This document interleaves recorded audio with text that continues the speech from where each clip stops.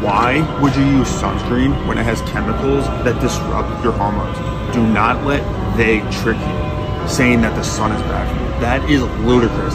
Get your vitamin D from sun and natural energy from it. And also optimize your hormones by taking Choq's Tongkat 100 in Shilajit, which is proven to boost testosterone levels 87% in just 21 days, lower cortisol levels, which is the stress hormone, and give you more energy. And you can get this right now, 35% off for life on all Choq subscriptions if you use code FOOT. So go click the link in the bio right now and change your life.